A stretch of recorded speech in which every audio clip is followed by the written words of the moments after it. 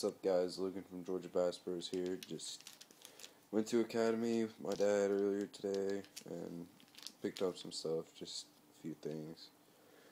Got some owner twist lock hooks, 4 aught, 1 8 ounce. Gonna do some rage rigging of a rage craws probably. And I just need some more worm hooks, 3 aught Gamakatsu, round bend offset shank, big bite baits, 6 inch trick worm basically in the crawdad color. I've been tearing fish up on these lately.